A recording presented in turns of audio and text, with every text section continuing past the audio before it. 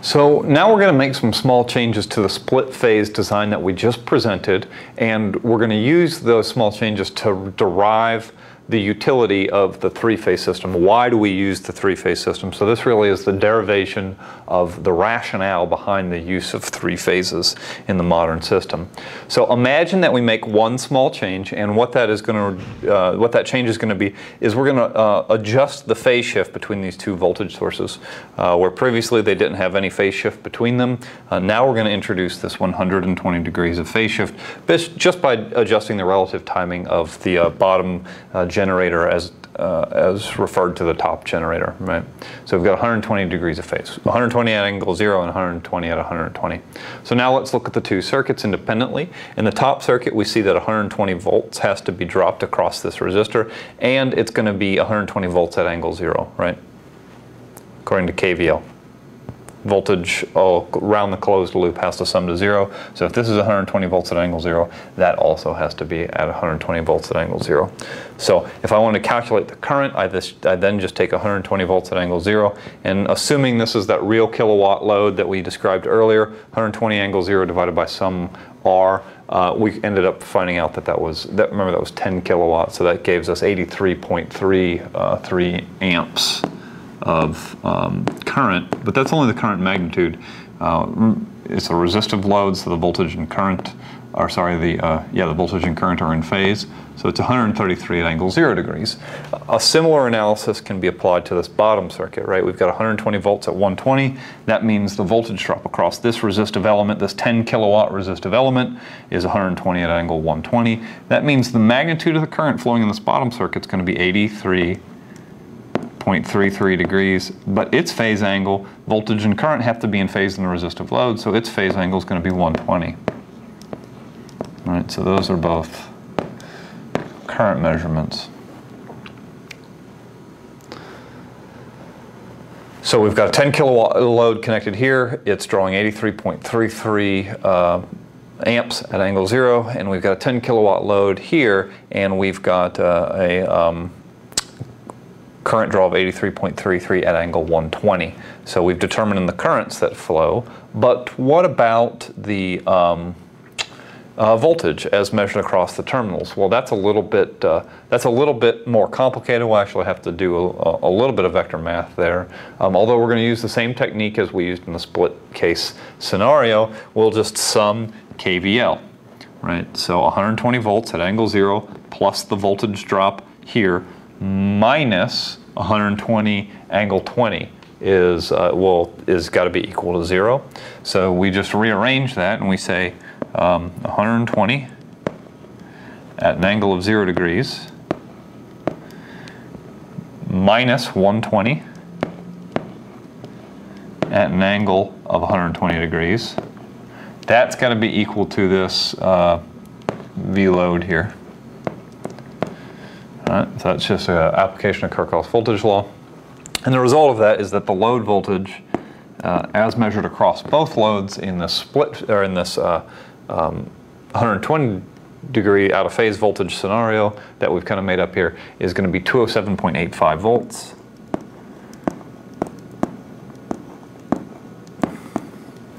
at an angle of negative 30 degrees. So when those two voltage sources were in phase, we got 240 at an angle zero here, but put them 120 degrees out of phase and we see that the magnitude reduces and a phase angle is introduced.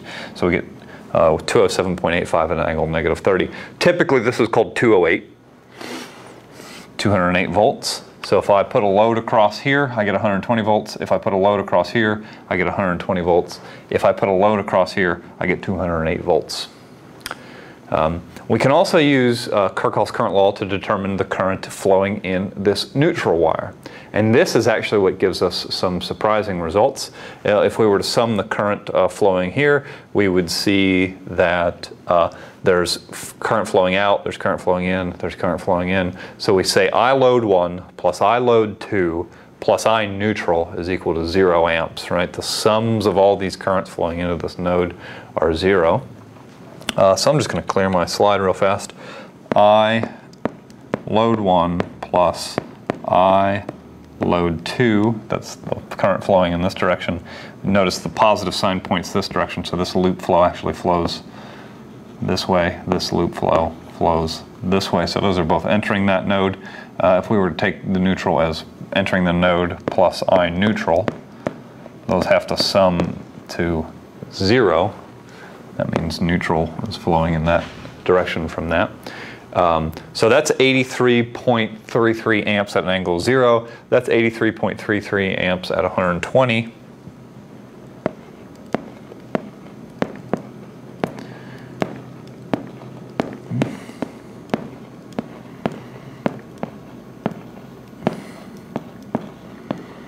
And we don't know the neutral current. Those all have to sum to zero. And what we find out is that uh, the neutral current is actually going to be 83.33 at angle 240.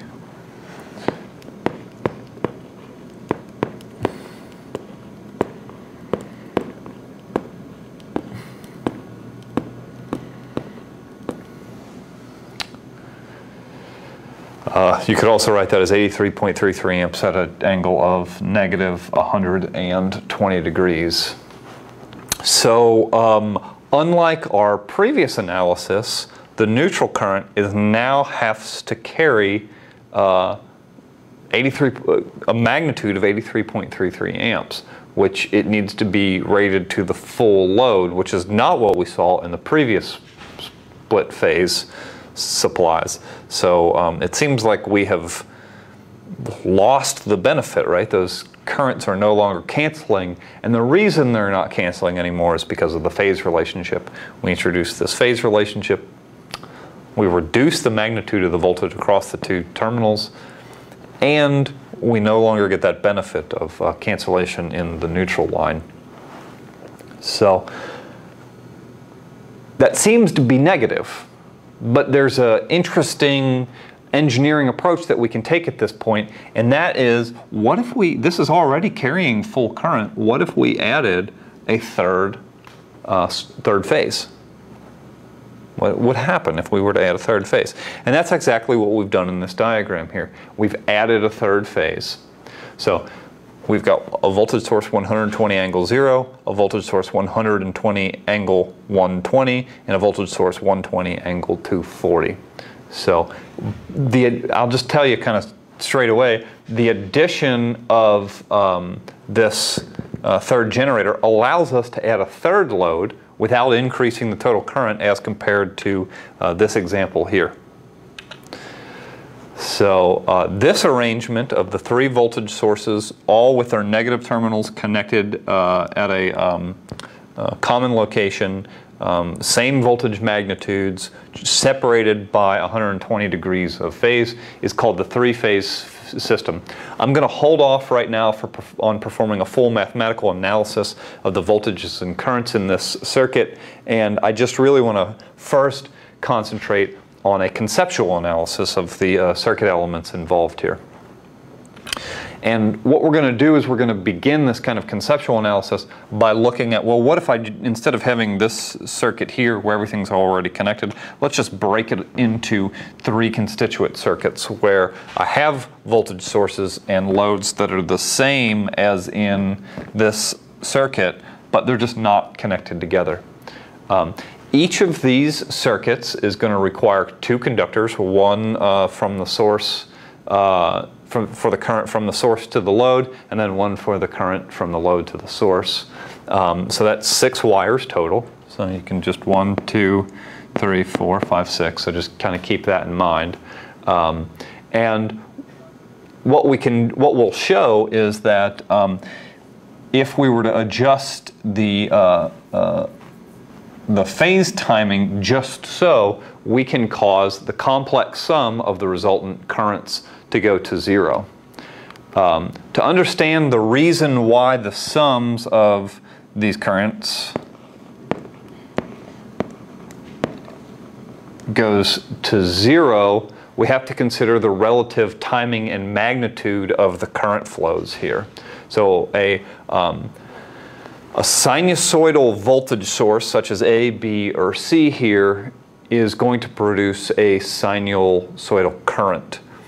Um, if ZA, ZB, and ZC are equal, the phases of these currents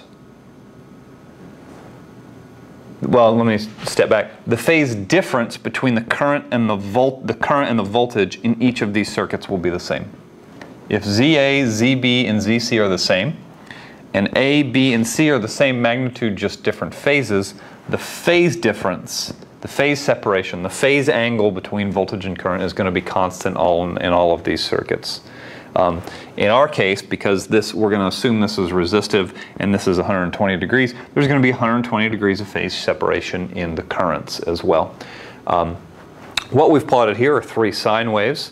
Um, and what we'll notice is that at 120 degrees phase separation, they'll always add up to zero.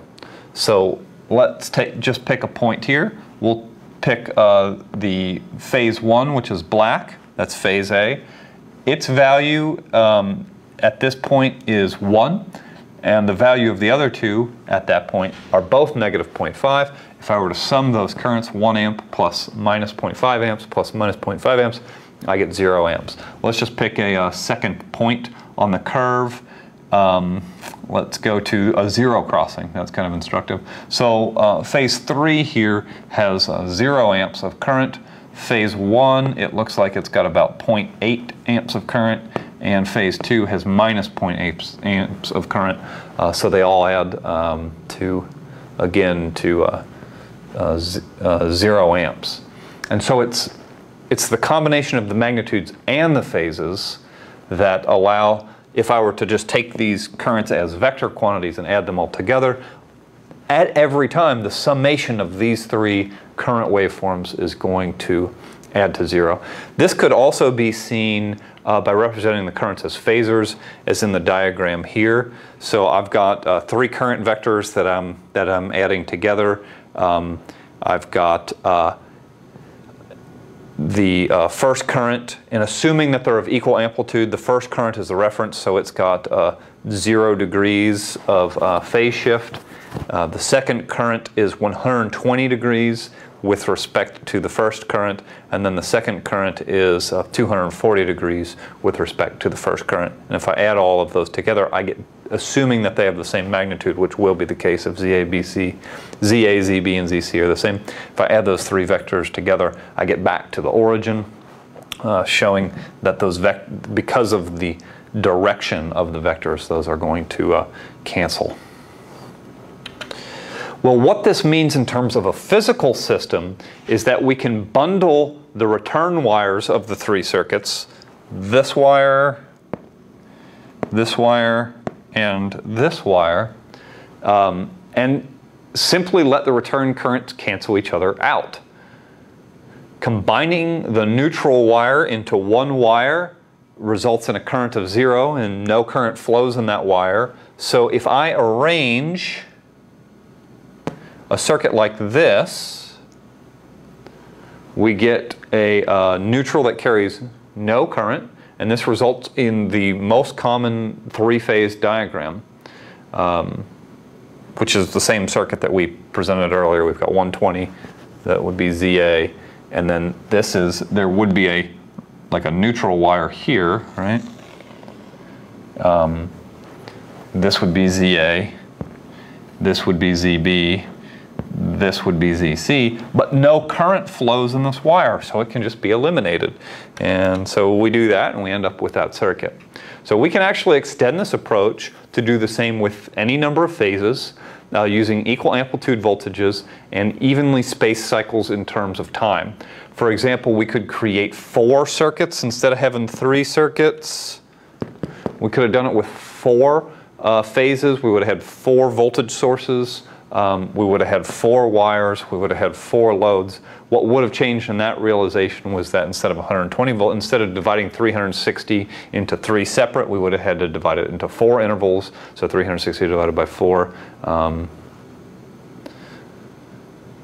separate that into four intervals. Uh, it, with five circuits, you would have had five voltage sources, five wires, five loads, and you would have uh, divided that into um, 72 degree um, phase shifts. But uh, You don't actually have to remember all that. You just have to remember that for the three-phase system, 120 uh, degrees of phase shift. Well, why do we settle on this though? Why didn't we pick, you know, five or six or seven if they're possible? So, um, well, clearly, uh, it was a compromise between the reduction of vulnerability in the system due to unbalanced loading amongst the phases. The more phases I have, the less vulnerable the system is. And then there was also an increase in capital cost of equipment for polyphase loads. You know, I got to add generators, I got to add wires and things like that. Um, later, we're going to see that there are significant advantages for the use of three phases for a machine called an AC generator. Um, and so low capital costs, the redundancy provided by the three phases, um, the practicality of the three-phase generator, which we haven't really seen yet, but you, we will later. Those are kind of the factors that drove us to not select four, not to select five, but to go with a polyphase system consisting of three elements and therefore a three-phase system, right? And really this has become a global standard. Um, so um, because the three-phase system is a uh, national standard or an international standard really, and because the three phases are so ind independent, they're almost always uh, described as a single circuit using what are called one-line diagrams. Um, each of the phases is just represented as a single line, and then you know any information that is presented is presented in aggregate. For example, this is showing a distribution feeder that has a load of real power draw of 75 megawatts and a reactive power draw of 23 megavars. That's split amongst the three phases. So that's total power consumption being fed by three different phases. Um, this convention really is used as a simplification method, right? It's much easier to graphically represent circuits using one diagram than it is to draw, you know, all of this. But just recall that, you know, this circuit here actually represents this entire um, electrical behavior. Um, for most, for most uh, analysis that we'll do in this class, uh, we'll actually just represent this as a single phase. Um, the only time we're going to have to represent them is three full phases if we have some unbalanced fault conditions, which we'll talk about but not really get into uh, all that much. Um, in the previous description of the advantages of the three-phase loads, it was assumed that um, these loads uh, were uh, constant, ZA equals ZB equals ZC, um, and the term for that is balanced. If the loads are all the same, if the impedance of load A is equal to the impedance of load B is equal to the impedance of load C, um, uh, that's called a balanced system, and so a lot of times these will uh, these one-line diagrams assume that that condition. But uh, how are those loads balanced if we are free to connect to the distribution transformers as we, you know, just kind of at will? Well, um, you know, by nature, certain loads are electrically balanced by design. Large three-phase motors. Um, draw power equally from each of the phases. So by nature, three-phase motors are already balanced just by their construction. Um, but the majority of residential and small commercial customers typically only draw from a single phase at any time. And so um, therefore, if you just connected to the utility system at random, um, it wouldn't be, the assumption of balance would not be upheld. But as you saw in the previous um, uh, lecture, there is uh, a little bit of planning that goes on in the distribution system, particularly with the timing and um, uh, magnitude of loads. And so it's the, really the job of the utility company's distribution planner to distribute loads on his or her system equally amongst the phases such that uh, the system can be approximately balanced. Oh, excuse me, stay on this slide. Um, for example, a distribution system planning engineer is going to alternate the three phases connecting the houses in a neighborhood. You know, the first house will be connected to phase A, the second house will be connected to phase B, the third house will be connected to phase C, the fourth house will be connected to phase A, the fifth to phase B, the sixth to phase C, etc.